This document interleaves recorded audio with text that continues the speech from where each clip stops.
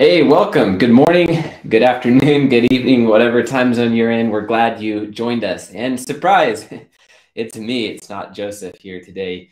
Uh, he is actually enjoying some nice weather in Florida while I'm still here in the central United States, uh, not enjoying nice weather. We have, we were supposed to get snow last night.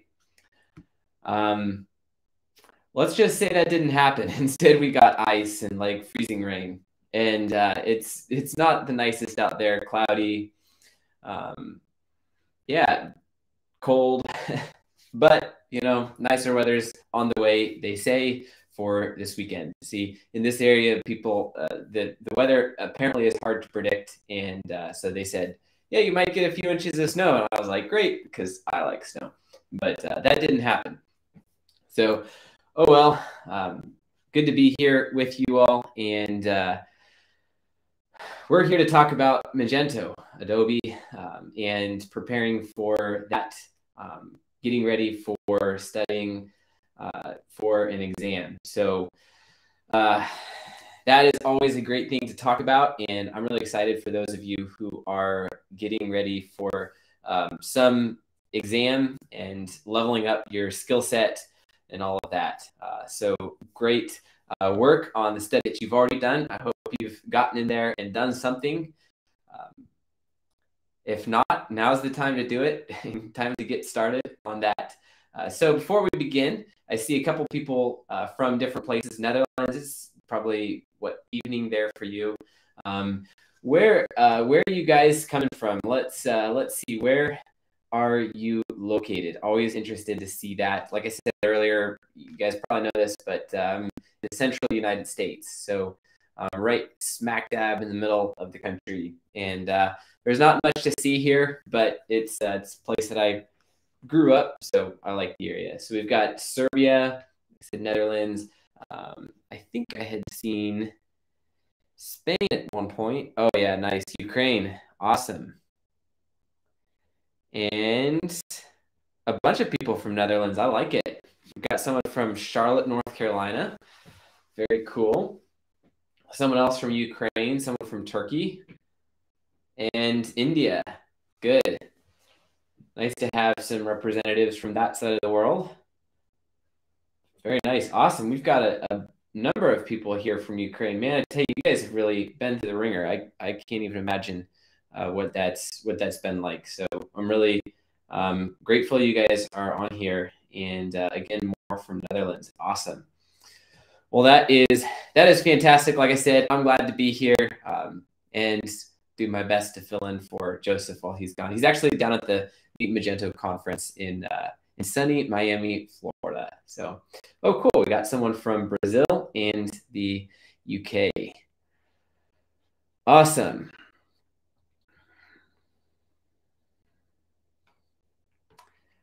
All right, so we're already on our third week of studying for a Magento certification, and I hope things are going well for you guys. Um, I guess the first question would be if you've had your coffee this morning. I have. Um, just got started my workday just an hour or two ago, but many of you are on the other side of the world and have been already at work all day. That's good. So, um, hopefully you have had a good day and uh, are then winding down your day with uh, a good live stream here from SwiftOtter. Um, just a reminder, but if you haven't signed up already, please do swiftotter.com forward slash challenge. Uh, that way, if you'll get your chance at winning a uh, t-shirt, something like that. Uh, so don't forget you can uh, sign up to challenge. And as a reminder, we're doing study groups, a little bit more of a, uh, of a, of a smaller, like tight grip, uh, tight um, knit uh, group of uh, people studying. And uh, there's a, a, fee for that if you want to join there. But as always, these are totally free and we'll never um, charge for that. Here, um, quick review. What test is right? I'm going to just be really brief and uh, on this one because it's probably a decision you have already made. But uh, remember to start with the professional one. If you're if you haven't done the professional one and you're going straight for the expert, uh, might be prepared to to be miss it the first time and have to retake it. Now, that's not a bad thing. Right? Uh, uh personally, when I took my expert developer exam, uh, that's what happened to me, and uh, I retook it. And there's there's value, there's benefit in being able to uh, take it, even if it's not to pass the first time. But uh, just to set your expectations, so you are aware that that's a possibility. Um, if you're if you're going for that expert and you haven't done professional first, it's a tough one. And uh, business practitioner is really tough, anyways. Uh, so that one is is one to prepare for um, perhaps missing it the first time and then retaking it. Um, but again, you can learn from what you missed on the last one and uh, and try to do better with that on the next one. So the main thing that I want to talk about today is effective study. That's what this really comes down to. And the challenge with taking a Magento exam is that they are difficult and emphasize practical experience. So the best type of study that you can do is work on Magento. That's how they were designed to be. That's the point of it. However, the problem is that it's really hard to have practical work cover the entire width the entire Magento application. And that's where study comes in. So if you haven't touched Magento at all or Adobe Commerce, Adobe Open Source, then you'll have a really, really hard time just studying it and passing it. But if you have worked with it a fair amount, six months at least, maybe a year, two years, and then the goal of studying is to find those edges, those corners that you haven't worked with before. And one of the keys to study is to make sure that you look for those corners and that you address those corners, right? Because there's probably going to be areas that you've never touched. Maybe you didn't even know they existed. And that's part of the benefit of the certification because that then gives you that opportunity to make sure you're knowledge of the application is extensive or thorough. There's been times when I've seen uh, people have built out as custom or installed third-party modules to cover what what from my perspective was a core Magento feature, right? So if you're a, let's just say you're a solutions architect and you're working on something and, and a client says, hey, I need this feature built and if you aren't aware of the entirety of the Magento application, at least at a high level, then you might say, okay, well, it'll cost, you know, $15,000 to build this feature. And then you and your team go and set about working and building that. And all that's well and fine. But if Magento has something, you could save your client a lot of money or your boss or whatever a lot of money and you could um, do it with something that's already been well supported that's secure and things like that. So there's real benefit to both you your employer your client whoever it is that you're working for. There's real benefit to know how the magento application works. This applies to both developers and the business practitioner. Um, both exams relate to this aspect. For instance if you're a developer and you know that magento has some features that are already available out of the box, you might use those in your code um, without having to reinvent the wheel. So ultimately, studying is preparing to take this exam. That's what the goal is. And you might have heard it said practice makes perfect, which is kind of true, but it also misses a really key word. It's perfect practice makes perfect. So practicing right makes perfect, right? If you are just studying in uh, some particular ways that you are already familiar with and you're not really widening your knowledge of the of the Adobe uh, application, then you're not really going to be boosting your skill set for preparation in, in taking the uh, difficult exam that's coming up. I play the bass, the electric bass. It's a little, um, I guess it's not so little, but it's a little guitar type of instrument. And uh, if I use, if I have bad technique in the way that I finger the fretboard, if I let my fingers go flying off different directions, things like that, and I practice that way, it cements that as a habit into the way that I move around the fretboard. And so, what's important when I practice is that I slow down, think about what I'm doing and work through each step of the piece of music really carefully and make sure that my technique is good and accurate. Um, and that's what we're doing here with study. We want to make sure that we are carefully examining all of the application. The problem is that we can spend a lot of time studying, but if we don't study in the right way, it won't help us pass the test. That's one of the purposes of our study guides and our courses is to make sure that all of it is covered and that you have areas that you can um, dive into if you aren't familiar with that. So study is important. It's critical, but it's also hard to do. I don't know if you're like me, but it's hard to find times that are not when I'm not distracted in order to get some study done. And uh, so, just a couple notes on that here. One is don't check your email before you study. just just keep it closed. Keep it closed while you're studying. Um, don't don't open it up, and of course, don't open up Slack either. Um, that's a Slack is a great tool. Love it, but it's a it's also a really nice way to be distracted. You know, when your friend posts this cool meme of some silly creature like a squid leaning back from his desk from Slack, you know, it's got to be worth looking at. So the phone, block out some time, and put your head down and study. That's the best way to do it. Um, your phone is probably a host of Slack or email or Twitter or Instagram, whatever you get notifications from. But it also probably has a way to mute those notifications. So either put it away or mute the notifications. Make sure that you give yourself space to focus.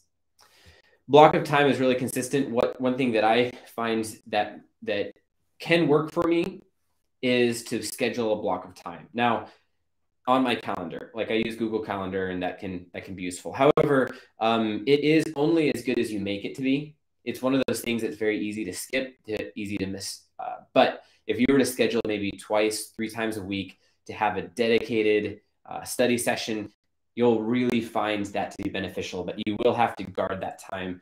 One of the things that you can do to help guard that time or, or jog your memory as well is to schedule it or do it close to another period of time that is consistent for you. If you have anything that's consistent um, maybe that's lunch. If you if you take a lunch break maybe you can take some time before or after your lunch break to sit down and study. Maybe it's first thing in the morning. Maybe you find that you're you have your best focus first thing in the morning. For me um, when I get on in the morning, I'm, I'm usually opening up email and going through those things, but it's also my best focus time. And so that would be the best time for me to have a clear mind, nothing else, wait to open email until after I'm done with that and spend a half hour or hour, some set amount of time studying. It's hard to have it be a set amount of time, but it's also important because then that way you know, hey, I can just get in there and do this for an hour or half hour and then after that, I'll go about the rest of my day and we'll be good. So, um, tools in order to study. Uh, this is this is just a really important um, part of it because in some ways it'd be like playing the bass without actually having a bass, which obviously wouldn't work. Uh, but it's easy to miss. And what I'm talking about is the is is things like Xdebug set up on your local environment. So one is you need to have a local environment in the first place. And the reason for that, if you're taking a developer exam, the reason for that is because it's important that you test out theories that you have. Assumptions are dangerous. And if you read something in a study guide and be like, oh, that's cool, but I don't understand how it works, red flag, hello, please take a moment to go check it out and dig into what it's actually doing that should be a, uh, a little indicator for you that it's time to take a moment to do that. Um, Xdebug is your biggest tool with that. Just being honest, like it, without Xdebug doing um, var dump or whatever else you want to do, it's just not going to work as well. So if you don't have something like that set up, that's take your first couple hours to set it up. Um, we have a project, a local environment project called Den that we um, have been working on that works really well. Allows different environments to be set up. It's really easy to set up. I recommend it. Take a look if you haven't already. Xdebug basically comes with it out of the box. Very easy to set up. Um, worth doing if you don't already. And a uh, for those of you who are taking the business practitioner, a commerce environment. Clear. It has to be a commerce environment. Excuse me. Um, handicap your study, and you will probably miss those questions that focus on commerce. So it can be hard to get that, but it's really important that you have that uh, commerce environment to work with. So um, take a minute to look there and uh, get something put together for that. So as you study, as you go through the study guide, and, and Magento offers or Adobe offers uh, study guides for their certifications, which aren't so much uh, the information that you need to know, and it's more about the topics that are being covered. Go ahead and grab those. Um, but our, our study guides at SwiftOtter have a lot more of the information about what you need to know in order to pass the test.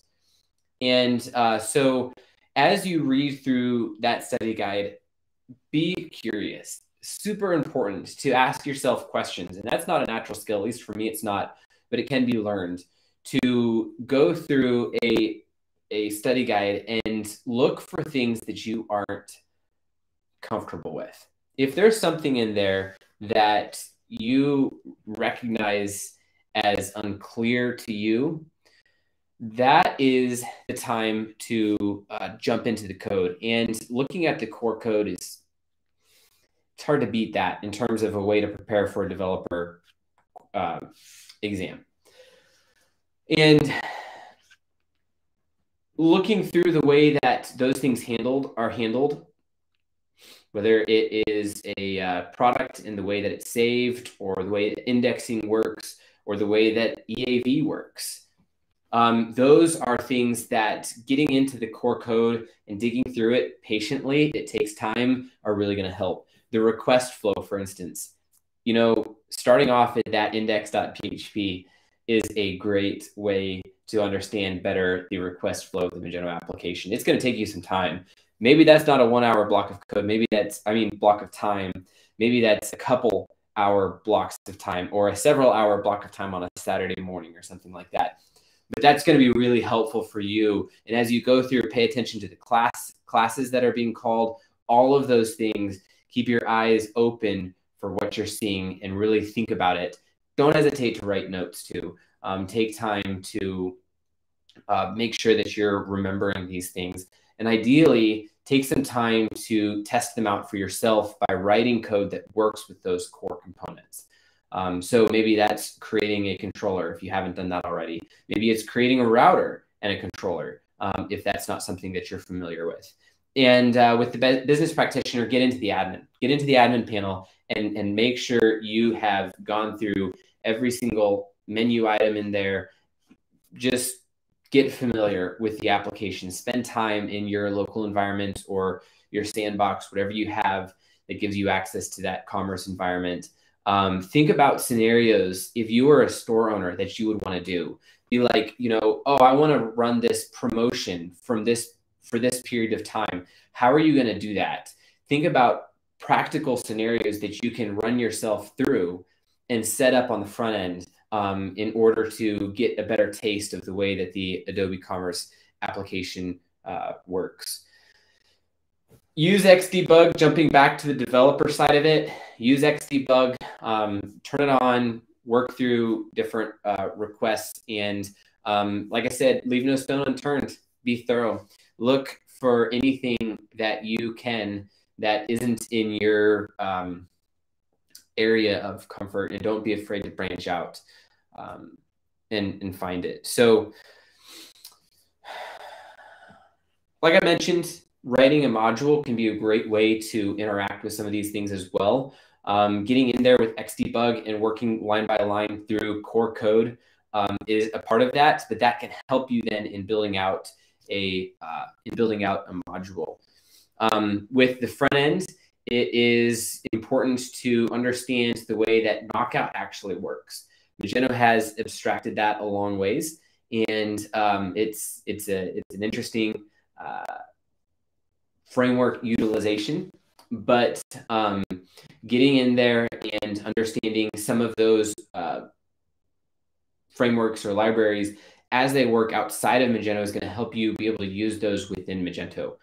So just going to the Knockout website and playing around a little bit with the um, data bindings and things like that there can help you uh, with that. Going to the Require.js uh, uh, website and experimenting a little bit with that library uh, can help you learn that a little bit better. And so spending some time there will be useful in that. So when you encounter something that's an abstract concept, so what do I mean by abstract? That's something that is not like here's a specific class or here's a specific um, JavaScript file or here's a specific um, page that you go to in the admin panel. It's a concept, it's an idea. And uh, when you encounter one of those, that's a great time to do some more research and online may be the best place to start online or in a in a slack um, in our slack group or something like that asking someone else what do you think about this um, abstract concept but don't steer away from it make sure that you um, take the time that you need to understand that concept and um, flesh out exactly what is being discussed with that don't study alone. This goes back to the last one that I was just talking about. Um, study is it's hard. be honest with you, it's it's not an easy thing to dedicate time to. It's worth it. Um, getting a certification is a really awesome thing. It, it demonstrates to others your skill set and it increases your skill set in that process. But it's not an easy thing. So don't do it alone. Uh, make sure that you're doing it with other people, hopefully in your own company. Company, there's other people that will be able to work with you through that process. Um, but there's a lot of things that you can solve on your own, but there's a lot of things that you just don't need to. And it'll be faster for you, or easier for you, or better for you, for you to interact with other people and see what they are doing and what they are learning. And they might share ideas with you that you wouldn't find on your own, that you wouldn't um, naturally stumble across or things like that. Um, and they may be able to answer questions that you don't find answers to um, in other places.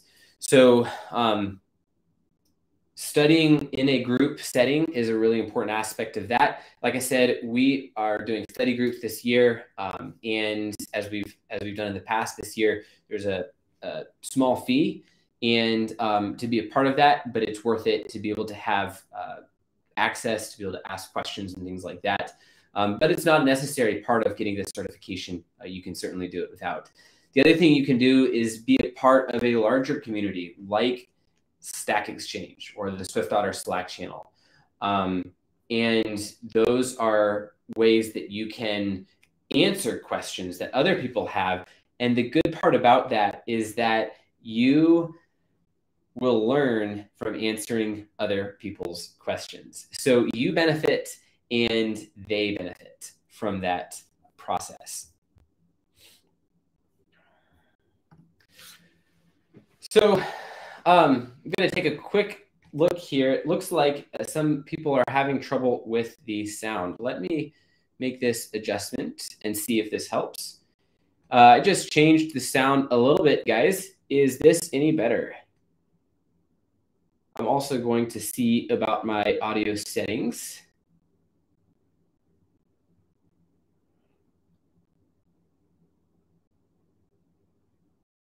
And we'll try this as well. All right. Is that anybody let me know in the comments if that sound is any better? I'm sorry that you guys, uh, that's coming out a little bit here for you. Uh, I, I had internet trouble the last couple days, and I'm hoping that is not what's affecting this. But I'm looking at this little indicator that shows me that the internet seems to be um, good. So we'll see uh, what that what that is. It's the quality. Okay, so the volume is all right, but the quality is not good. Um, well, I'm using my best microphone, so uh, it stutters. You know, it probably is the um, it probably is my internet. Then I, I'm sorry about that. It is uh, it's been a it's been a trial for me too. So hopefully it comes through for the for the rest um, of this um, live stream. And yeah, okay. So it's it's choppy audio. Um, well, I uh, not going to change anything here because I don't want to take down the rest of the stream. So uh, let's just try to push through it for the remainder of it. Um, there's a Slack channel in our Slack, swiftotter.com forward slash Slack to join that, one of the largest uh, Adobe related communities on Slack focusing on Magento. And uh, so there's a channel in there today I studied. This is a great way to articulate what you have been learning. And writing out those things can be very helpful in cementing what you've already learned. This goes along with answering other people's questions and um, doing your own digging into Magento Core or the Magento admin panel or whatever. Um, actually sharing what you've learned, especially in a written format, can be a really, really great way to do that, um, to cement those skills into your own memory. Um, finally, submit your scores. Let us know what you uh, what you got, what your score was, and uh, we'd be we'd love to hear from you. Always always like to know what we've been able to do um, in terms of helping you pass your test. That's that's what we love to do here is help you succeed. So that's what we're after. So um, link is pinned in the certification challenge in Slack. So uh, hit us up if you have any questions, comments, thoughts there, and with your scores. We're going to wrap up today with a uh, question and answer. If you guys have any questions, go ahead and shoot them my way. I'm watching the uh, live stream chat right here. Uh, so let me know if you have any questions. Um, but that'll be the main thing for, or that'll be all that we'll cover today regarding study. And uh, I, I, hope you all are successful in uh, taking and passing your test. Um, I've, I've taken quite a few, and uh, it's always a challenge. It's always a little bit scary, uh, to be honest. But it is, uh, it's also good it's very rewarding to be able to have that certification and demonstrate skills um, that you have. And uh, maybe even get a pay raise for it or something like that. So it can be a really great thing uh, for you to do. So keep up the good work. Keep studying. Keep working on this. I'm not seeing any questions come in which is perfectly fine. You guys can reach us on slack. Um, so we'll be around. We're uh, we're not strangers here. We like talking with you guys and uh, I wish you luck. All the best on the work that you're doing. Just keep up the good work. Block off some time. Get in the code. Think. Work. Work in your mind. That's where this is happening. And uh, appreciate your time. And we will uh, see you all later.